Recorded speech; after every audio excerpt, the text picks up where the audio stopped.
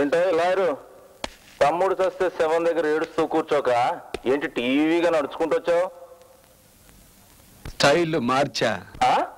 అంటే lawyer post వదిలేసి నాలా రౌడీ అవుదాం అనుకుంటున్నావా?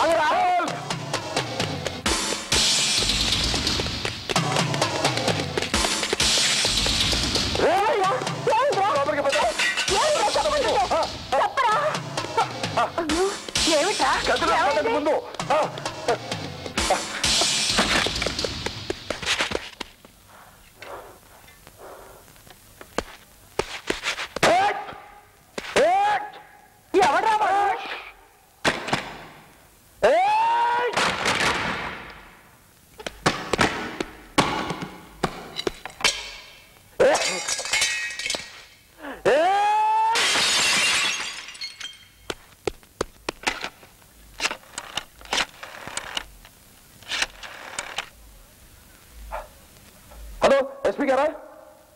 నేను పబ్లిక్ ప్రాసిక్యూటర్ బెరంచిని మాట్లాడుతున్నాను. సార్ శోభనాథుని గుండా జగదాబాద్ సెంటర్ నుంచి నన్ను చంపడానికి తరుముకుంటూ మా ఇంటికి వచ్చి మా ఆస్తంతా ధ్వంసం చేస్తున్నాడు. మీరు వెంటనే రండి. ప్లీజ్.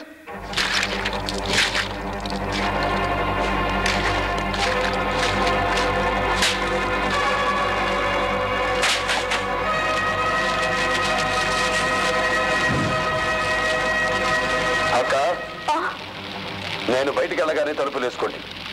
వద్దురా. ఇన్నాళ్ళు నాలో లాయర్నే చూశావు. ఇప్పుడు లాయర్ నార్డర్ రెండు చూద్దు గాని.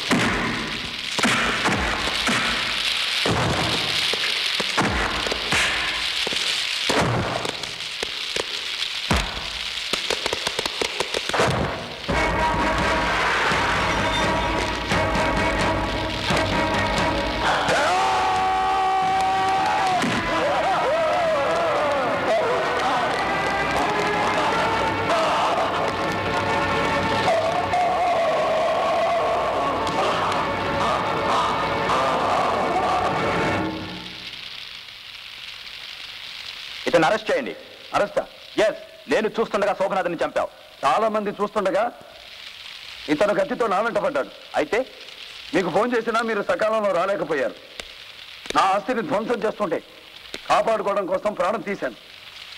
IPC section hundred exception one ప్రకారం నేను చేసింది హత్య కాదు. It amounts to culpable homicide sir lawyer కదండి. పద్ధతి ప్రకారం చంపాడు. ఇక మనం శవాన్ని తీసుకోవడం తప్ప మనం చేయగలిగింది ఏం లేదండి. వన్ మినిట్ రెడ్డి గారు ఫోన్ సార్. లేదని చెప్పరా?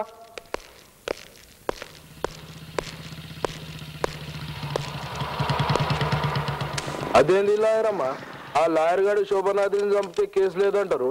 గట్లా రాసిందా మీ కితాబ్లా? అదే చూస్తున్నా. ఏంది చూసేది? ఆరాంగా పేజీ తిప్పే లోపల మా పేజీ చినిగిపోద్ది లా ప్రకారమే చంపాడని ఎస్పీ చెప్పాడు. లా ప్రకారం కాపాడాలి గాని ఈ చంపుడేంది బై? ఏదో ఒక సెక్షన్ ఉందండి. దానికోసమే వెతుకుతున్నాను. ఏ నువ్వు లా చదువుకున్నావా కాపీ కట్టి పాస్ అయినావా? ఒకటా రెండా? పీనల్ కూడా అంటే వందల్లో ఉంటాయండి. వాడు ఏ సెక్షన్తో చంపాడో మనకు అనవసరం అంతకంటే స్ట్రాంగ్ అయిన మరో సెక్షన్ వెతకండి.